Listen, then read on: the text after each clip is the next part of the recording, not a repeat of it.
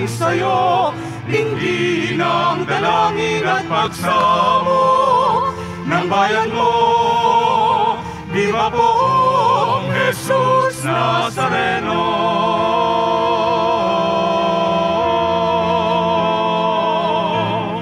Ako ang muling pagkabuhay, wika ang sino mang manalig sa akin ay mabubuhay kailanman. Viva poong Jesus Nazareno, awit at papuri alay namin sa'yo, dinggin ang dalangin at pagsamo ng bayan mo. Viva poong Jesus Nazareno.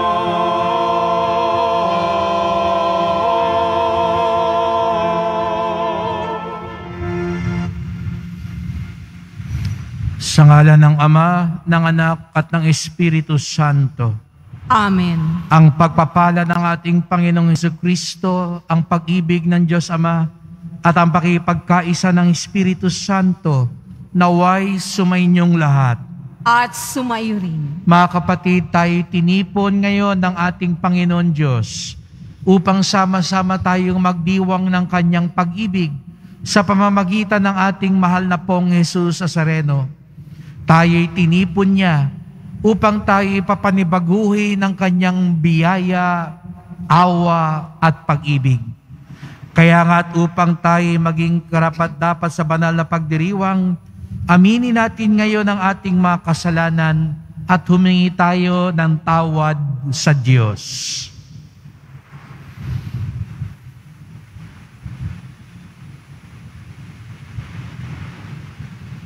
Inamin ko sa makapangyarihang Diyos At sa inyo, mga kapatid, na lubha akong nagkasala sa isip, sa salita at sa gawa, at sa aking pagkukulang.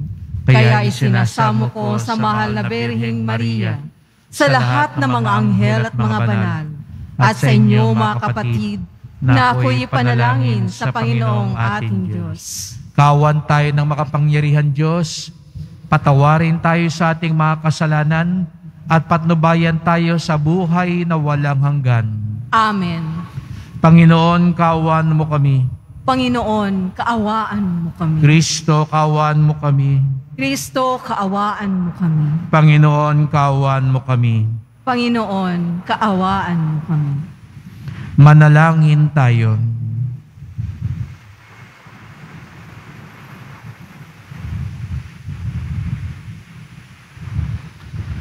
Ama naming makapangyarihan, dinggin mo ang aming mga kahilingan para maging lubos ang paghahayag ng mabuting balita, pakundangan sa ipinangakong Espiritu Santo na ipinadala ng iyong anak na salita, at para maging lubos ang pagkupkup mo sa iyong angkan, pakundangan sa pahayag ng tapat na saksing Espiritu.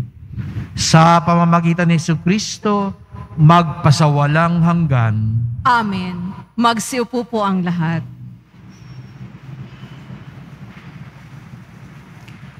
Pagbasa mula sa mga gawa ng mga apostol. Isang gabi, sinabi ng Panginoon kay Pablo sa pamamagitan ng isang pangitain, Huwag kang matakot. Ipagpatuloy mo ang iyong pangangaral. Ano man ang mangyari, huwag kang titigil sapagkat ako'y sumasayo. Hindi ka maaano sapagkat marami akong tagasunod sa lunsod na ito. Tumigil siya roon sa loob ng isang taon at anim na buwan at nagturo ng salita ng Diyos. Nang si Galyon ang maging gobernador ng Akaya, nagkaisa ang mga Hudyo na dakpin si Pablo at dalhin sa hukuman. Hinihikayat nito ang mga tao na sumamba sa Diyos sa isang paraang labag sa batas. Wika nila. Magsasalita na sana si Pablo na sabihin ni Galyon, kung ang usaping ito'y tungkol sa isang mabigat na pagkakasala o paglabag sa batas, makatwirang pakinggan ko kayo. Subalit ang sakdal ninyo'y tungkol lamang sa mga salita at mga pangalan at sa kautosan ninyo, mga Hudyo. Kaya hindi ko kayo hahatulan na bagay na yan. Bahala na kayo. At sila'y pinalabas niya sa hukuman. Sinunggaban nila si Sustenes, ang tagapagmahala ng sinagoga, at binugbog sa labas ng hukuman. Ngunit hindi ito pinansin ni Galyon. Pagkatapos nito, ilang araw pang nanatili si Pablo sa Korinto. Saka nagpaalam sa mga kapatid. Pagdating sa Sencrea, nagpaputol siya ng buhok sapagkat natupad na isang panatang ginawa niya. At naglayag siyang patungo Syria kasama ang mag-asawang Priscilla at Aquila. Ang salita ng Diyos. Salamat sa Diyos.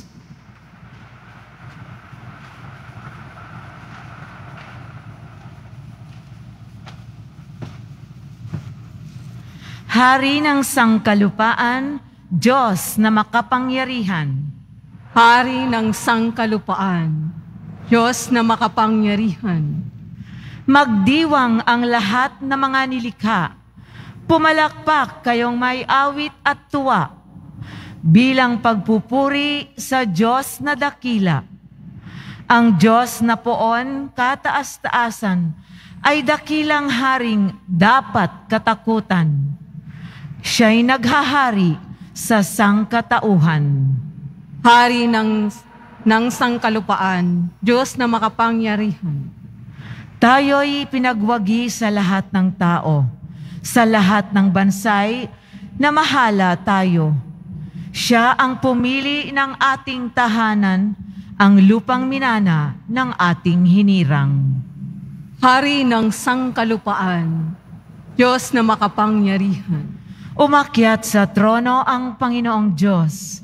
Hatid ng tambuling malakas ang tunog. Masayang sigawan ang ipinansuob. Purihin ang Diyos, siya ay awitan. Awitan ng hari, siya'y papurihan. Hari ng sangkalupaan, Diyos na makapangyarihan. Magsitayo na po ang lahat.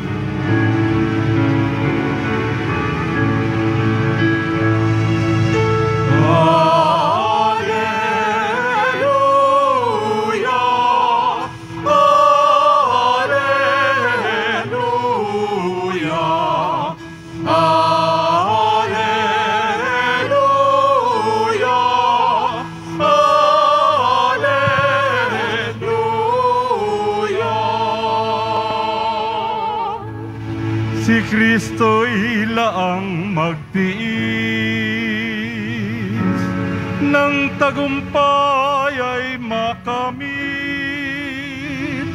at sumati ng langit. Alleluia!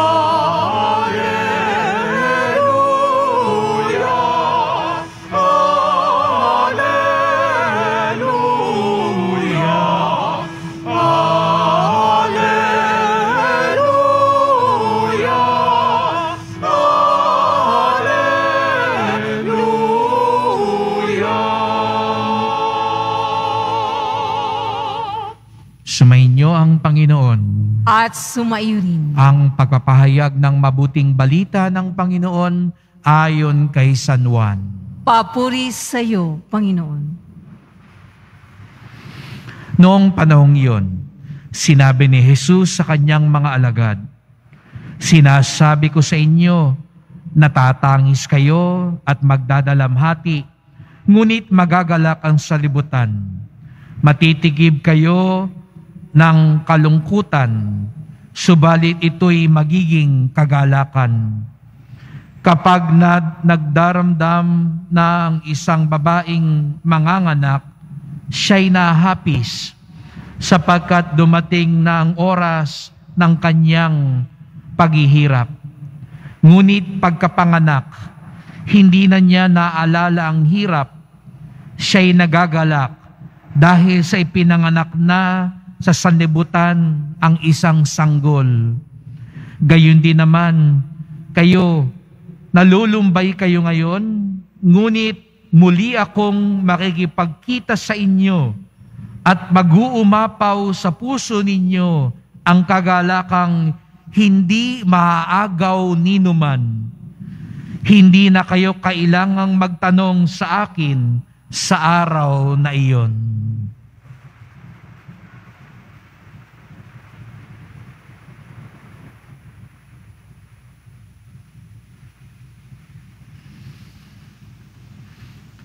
Ang mabuting balita ng ating kaligtasan.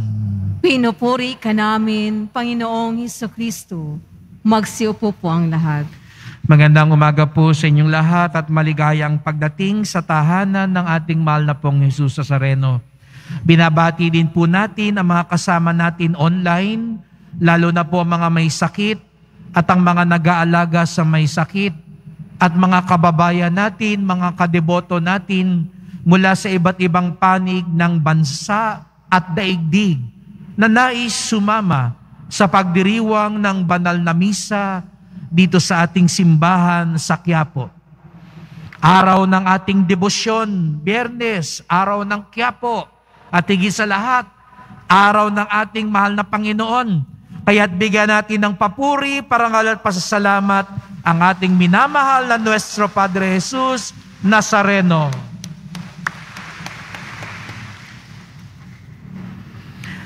Nitong mga nakalipas na araw,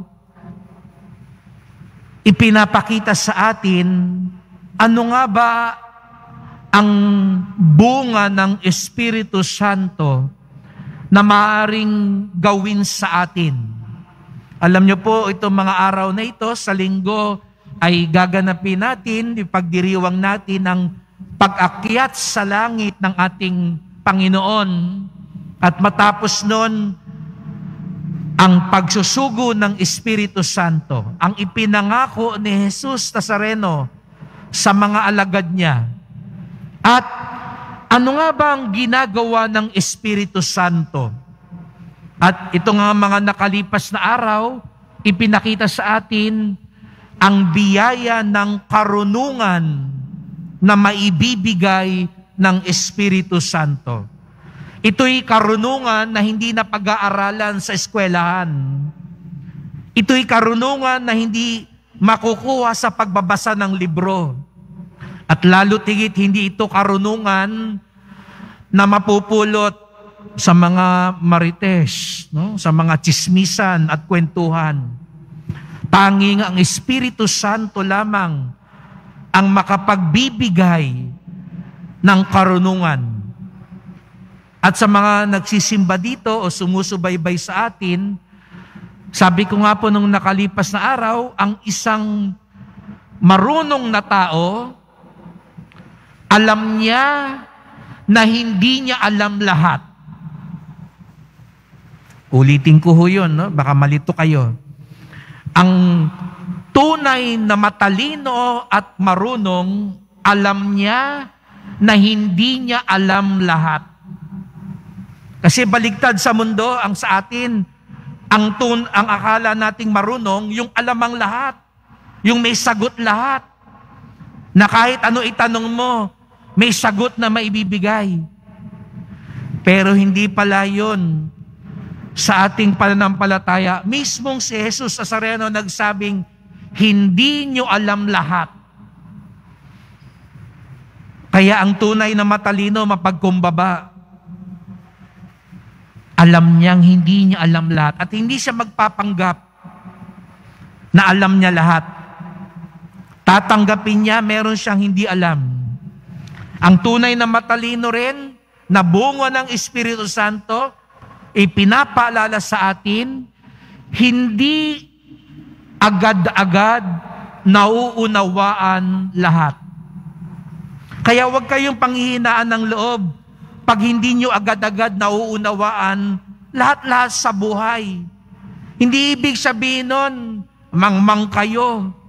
Hindi ibig sabihin nun, walang kwenta kayo.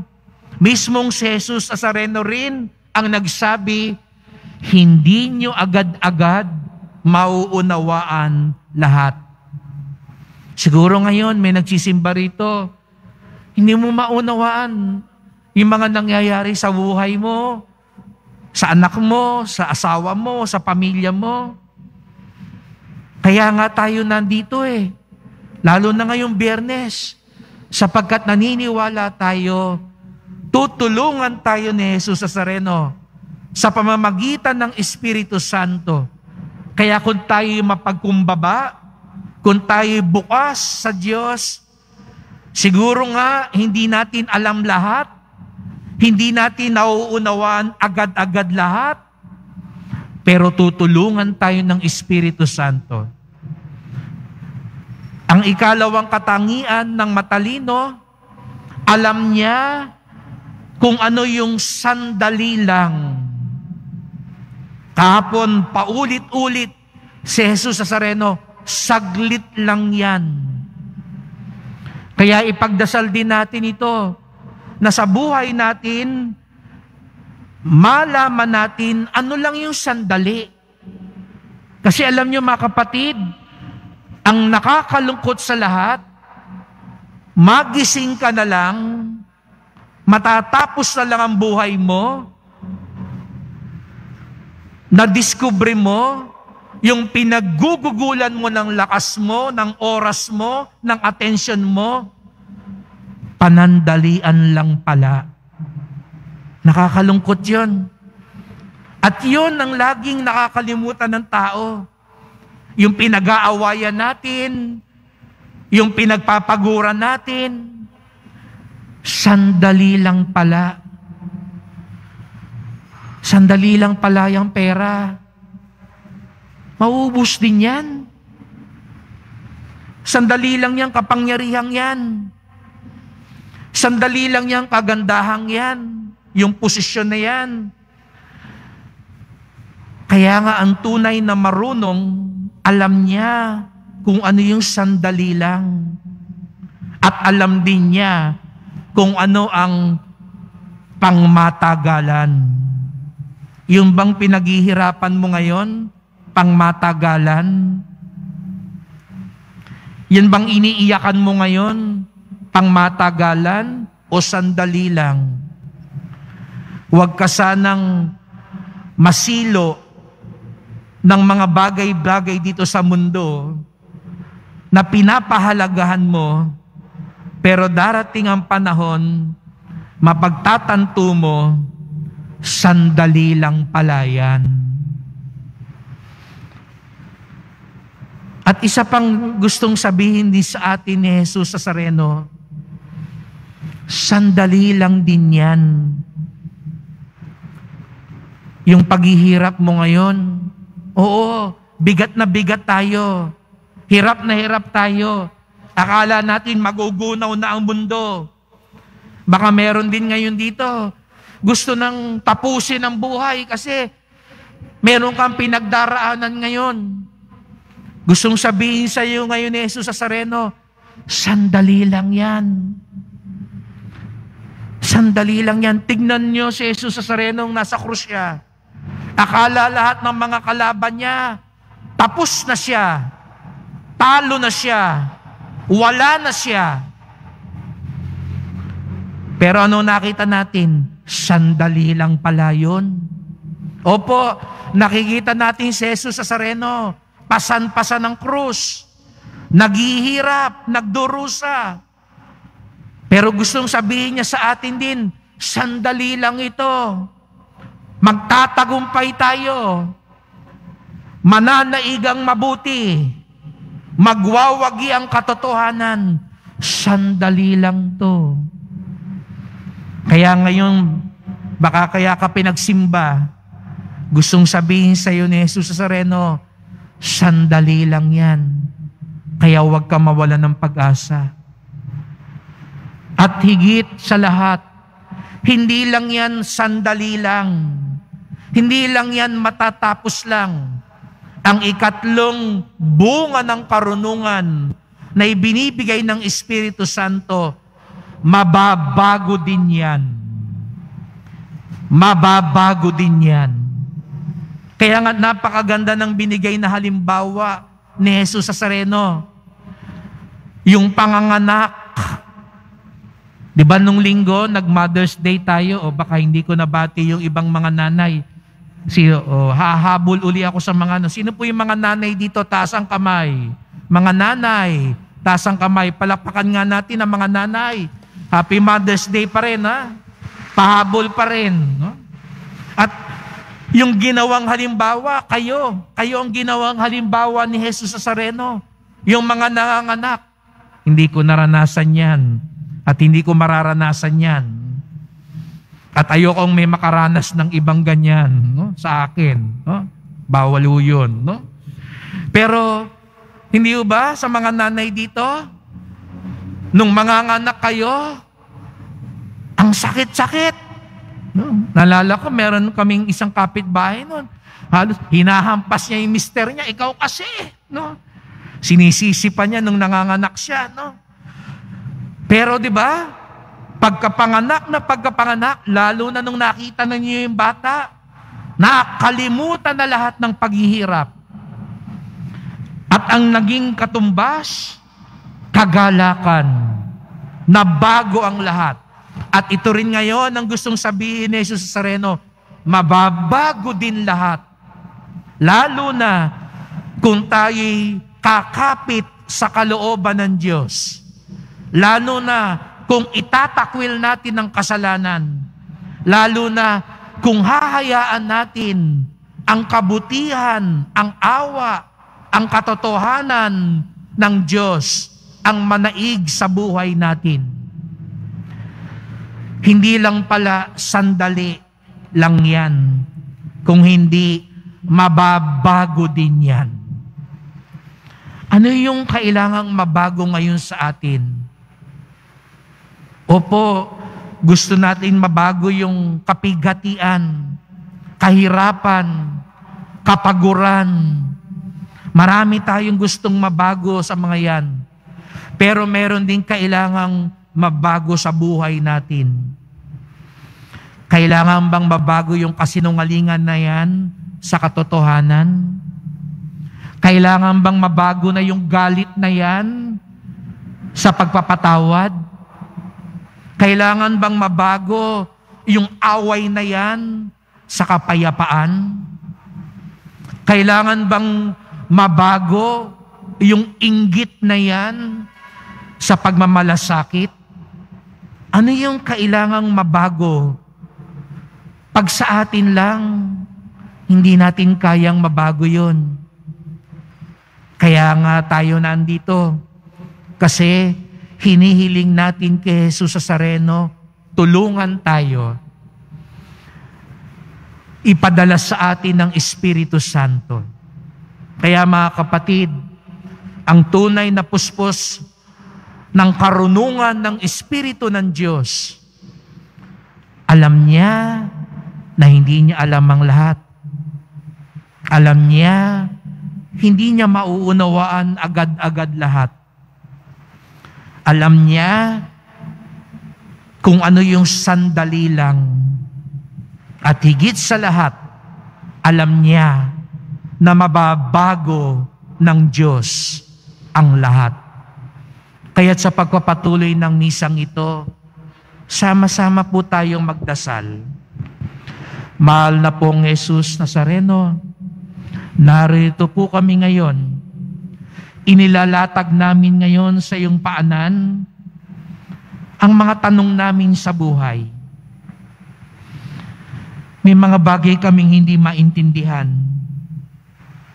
May mga bagay na gumugulo ngayon sa isip, sa aming pagsasama, sa aming pamilya, sa aming buhay.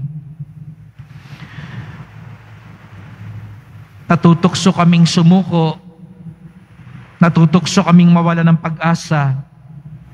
Pero narito kami ngayon sapagkat alam namin tutulungan mo kami. Mahal na pong Yesus sa Sareno, paalala mo sa amin lagi, sandali lang yan. Huwag kaming masilaw sa mga bagay na sandali lang.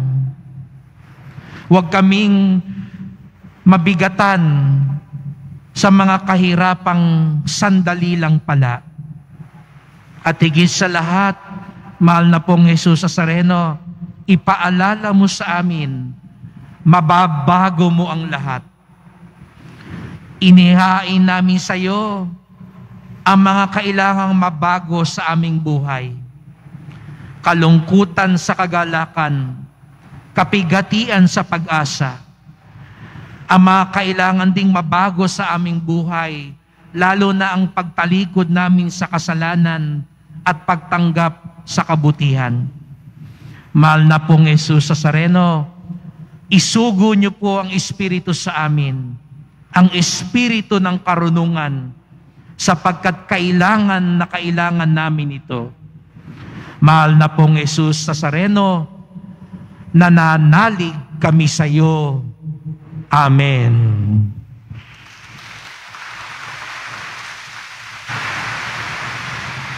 Magsitayo na po ang lahat.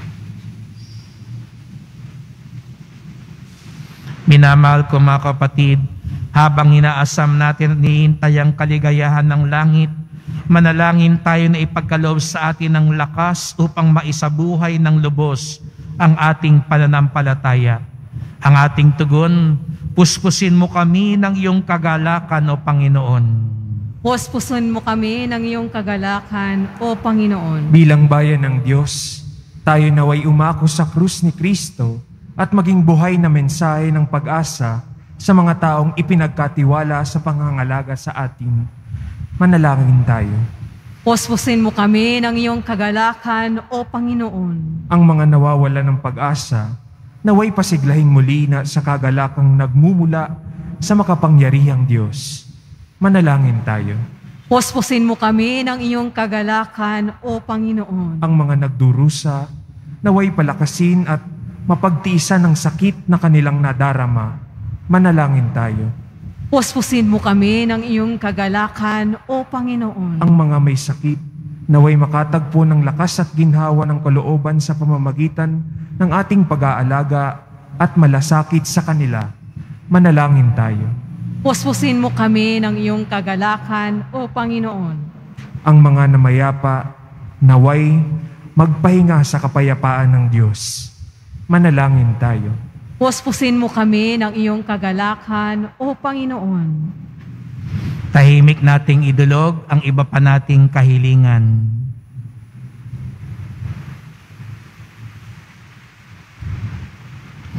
Panginoon, palakasin mo kami sa pagharap sa mga pagsubok tulad ng ginawa ng iyong anak. Tulungan mo kami sa pamamagitan ng biyaya ng iyong Espiritu na mapagtiisan ng mga paghihirap sa buhay na ito ng may kagalakan dahil sa pagkabatid na may kaligayahang naghihintay sa langit para sa amin. Hiling namin ito sa ngalan ni Kristong aming Panginoon. Amen. Magsiupo po ang lahat.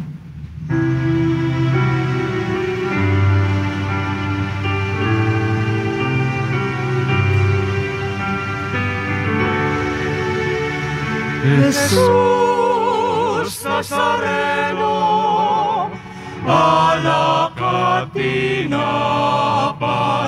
sa tanan ay nagbibigay buhay, biyayang kaloob mo ay aming inaalay. Aming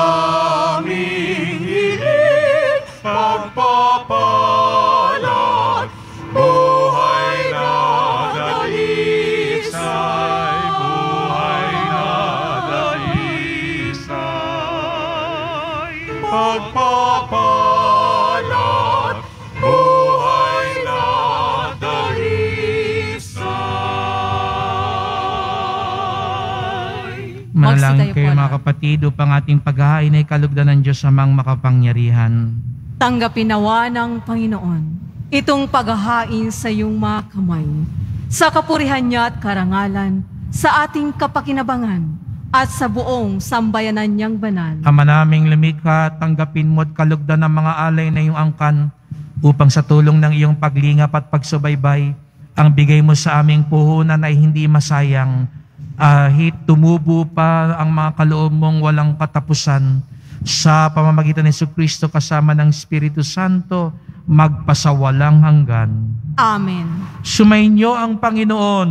At sumairi, Itaas sa Diyos ang inyong puso at diwa. itinaas na namin sa Panginoon. Pasalamatan natin ang Panginoong ating Diyos. Marapat na siya ay pasalamat. Ama naming makapangyarihan, tunay ngang marapat na ikaw ay aming pasalamatan.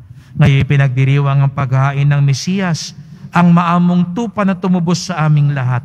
Ang katawan ng anak mong sa krus na bayubay ay handog ng pag-ibig na walang kapantay.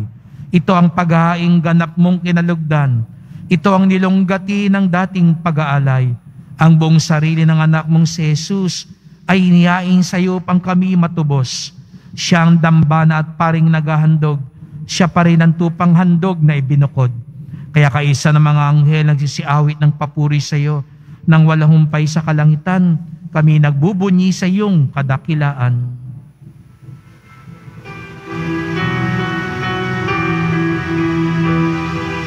Santo, Santo, Santo, Panginoong Diyos ng mga hukbo. Napupuno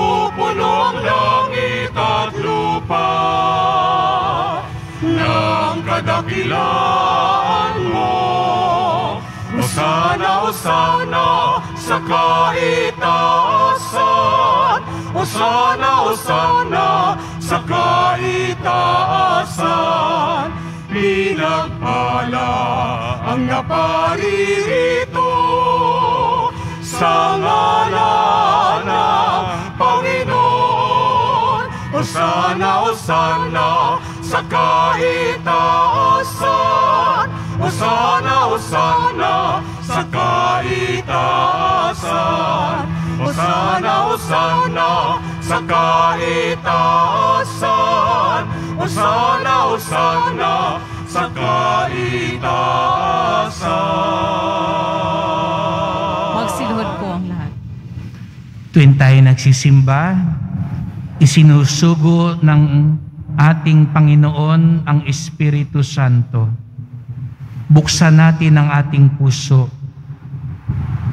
Hilingin natin na tayo din puspusin ng Espiritu Santo. Ama naming banal, ikaw ang bukal ng tanang kabanalan. Kaya sa pamamagitan ng iyong Espiritu, gawin mo banal ang mga kaloob na ito upang para sa amin maging katawan at dugo ng aming Panginoong Kristo. Bago niya pinagtiis ang kusang loob na maging handog, hinawakan niya ang tinapay, pinasalamatan kanya. Pinagati-hati niya yon at inabot sa kanyang mga lagad at sinabi, Tanggapin ninyong lahat ito at kanin. Ito ang aking katawan na ihahandog para sa inyo.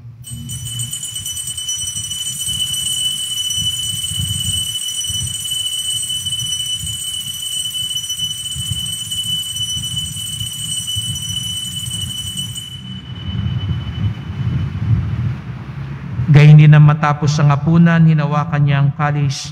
Muli kanyang pinasalamatan. Iniabot niya ang kalis sa kanyang mga lagad at sinabi, Tanggapin ninyong lahat ito inumin. Ito ang kalis ng aking dugo, ng bagot walang hanggang tipan. Ang aking dugo na bubuhos para sa inyo at para sa lahat sa ikapagpapatawad ng mga kasalanan. Gawin niya ito sa pag-alaala sa akin.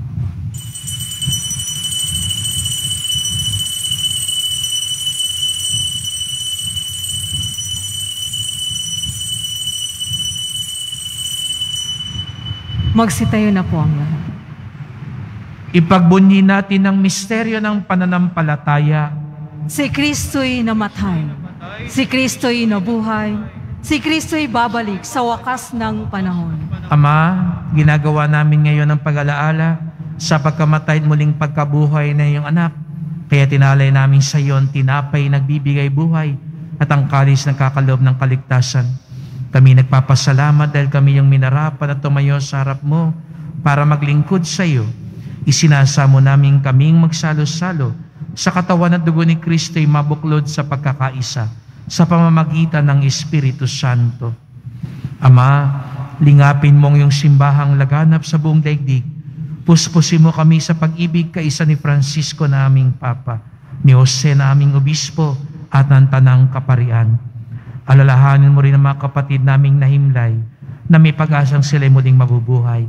Gayon din ang lahat ng mga pumanaw. Kawan mo sila at patuloyin sa iyong kaliwanagan. Kawan mo at pagindapating kaming lahat na makasala sa iyong buhay na walang wakas. Kaisa na mahal na biring Maria, ina ng Diyos, ng kabiyak niyang pusong si San Jose, ni San Juan Bautista at lahat ng mga banal na namuhay dito sa daigdig ng kalugod-lugod sa iyo. May pagdiwang nawa namin ng pagpupuri sa ikararangal mo sa pamamagitan ng iyong anak na aming Panginoong Yesu Kristo.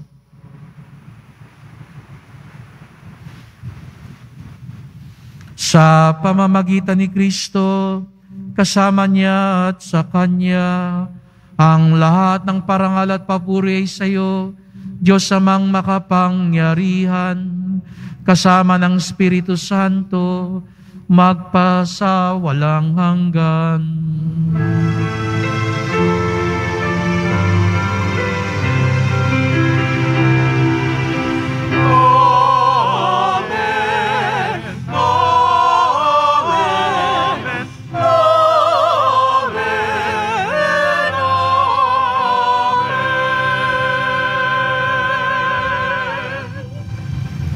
Bilang isang pamilya, sama-sama tayong tumawag sa ating Ama sa Langit. Ama namin, sumasalangit ka. Sambahin ang ngalan mo. Mapasa amin ang kaharian mo. Sundin ang loob mo dito sa lupa para nang sa langit.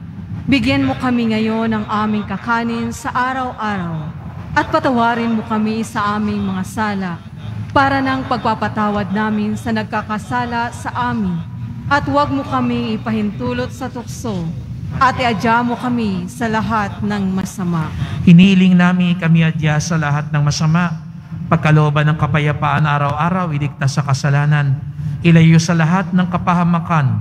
Samantalang aming pinananabikan ng dakilang araw ng pagpapahayag ng tagapagligtas naming si Yesu Kristo. sapagkat iyo ang kaharian at ang kapangyarihan at ang kapurihan magpakailanman. Amen. O Panginoong Kristo, sinabi mo sa iyong mga apostol at ngayon sinasabi mo sa amin lahat dito, kapayapaan ang iniiwan ko sa inyo.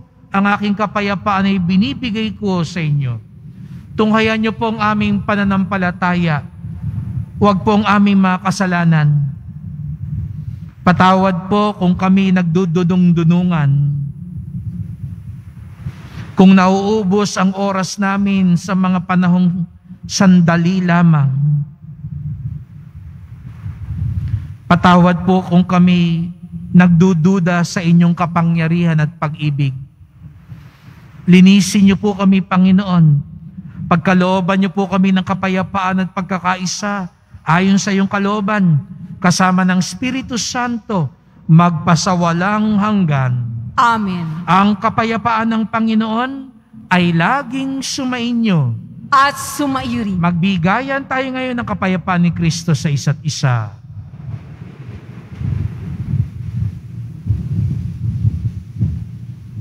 Kordero ng Diyos na nag-aalis ng mga kasalanan ng sanlibutan, maawa ka sa amin.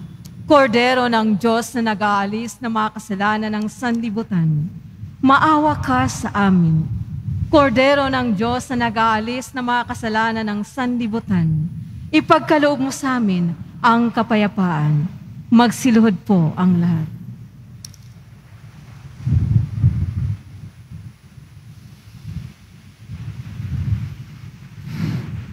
Narito si Jesus Nazareno, ang ating Panginoon, ang kordero ng Diyos nag-aalis ng mga kasalanan ng sanlibutan. Mapapalad ang inaanyahan sa kanyang piging.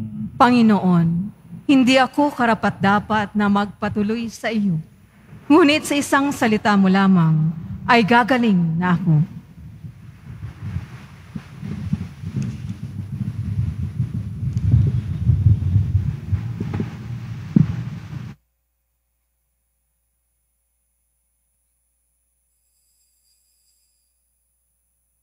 Para sa lahat ng tatanggap ng banal na komunyon, sasagot po tayo ng amin pagkasabi ng pare o ng lay minister ng katawan ni Kristo at isubo agad sa bibig bago umalis sa harapan ng pare o lay minister.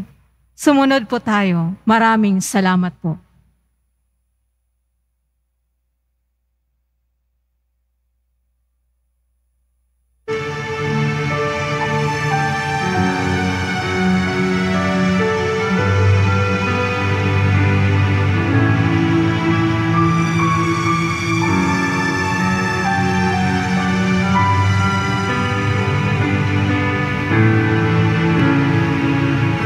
les mots.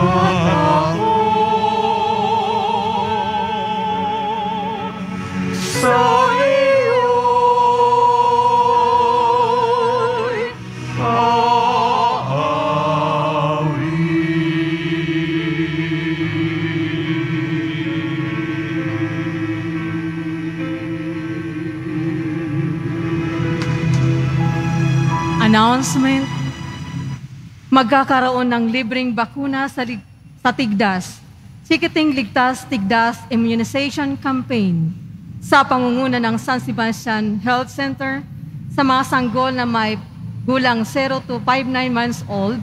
Ang kanilang pwesto ay matatagpuan sa entrance ng palik sa gilid ng ating simbahan sa Evangelista Street sa ganap ng ikawalo ng umaga hanggang ikaisa ng hapon. Maraming salamat po.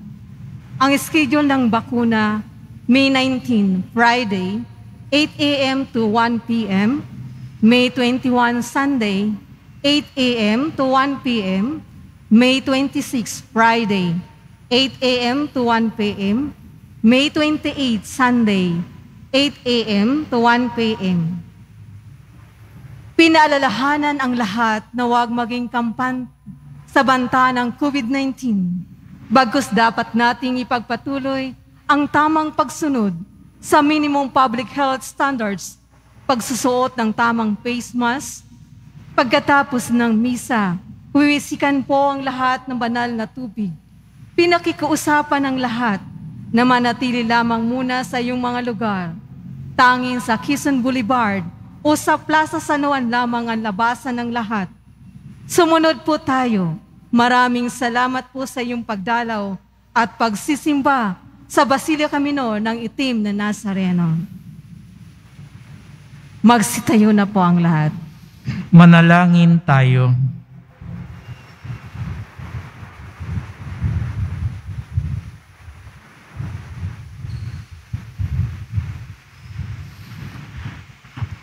Ama naming mapagmahal, ipagpatuloy mo ang iyong matapat na pagsubaybay sa iyong mga dinudulutan ng kaligtasan upang ang mga ipinagpakasakit na sagipin ng iyong anak ay makinabang sa pagkabuhay niyang nagbibigay galak sa pamamagitan niya kasama ng Espiritu Santo magpasawalang hanggan. Amen. Salamat po sa inyong pagpunta dito sa Quiapo. Salamat po sa inyong tulong sa ating simbahan, sa mga pamisa, love offerings, online donations, sa mga nagdadala po dito ng bigas, delata, noodles, at iba pang pang-ayuda sa ating mga kapatid na nasalanta at nangangailangan. Ang ating debosyon sa poong Nazareno ay nagtuturo sa atin na magmalasakit at tumulong sa ating kapwa. Mababago ang lahat ni Jesus Nazareno sapagkat isusugo niya ang Espiritu Santo. Kaya nga't manatili tayong tapat, mapagkumbaba, upang sa gayoy ang kapangyarihan ng Espiritu ay manahan sa atin. Sumainyo ang Panginoon. At sumaiyo rin. Mahal na pong Jesus Nazareno, inihayag mo sa pamamagitan ng krus ang walang maliw na pag-ibig ng Diyos sa sangkatauhan. Pakinggan mo ang kahilingan ng iyong angka na nagsusumamo sa iyo. Makamtanawan nilang iyong katugunan na tanggapin ang kasagutan ng may utang na loob na tinatanaw. Basbasan din po ninyo ang mga dala-dala nilang mga imahin at dasalan sa pamamagitan ng bendisyon na ito. Naway maala nila pangako nila noon sa binyag na ikaw ang kanilang iibigin at paglilingkuran bilang Panginoon magpasawalang hanggan. Amen. At pagpalain kayong lahat ng makapangyarihang Diyos, Ama at Anak at Espiritu Santo. Amen. Humayo kayong taglayang lakas ng poong Jesus Nazareno. Salamat sa Diyos.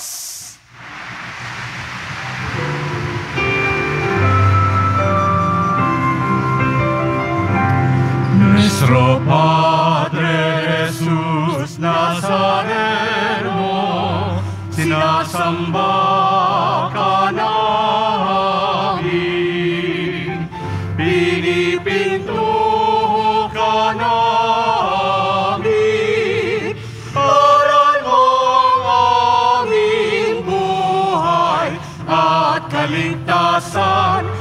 nuestro Padre Jesus Nazareno. Iligtas mo kami sa kasalanan. Ang krus mong tinamatayan ay sa gisag ng aming.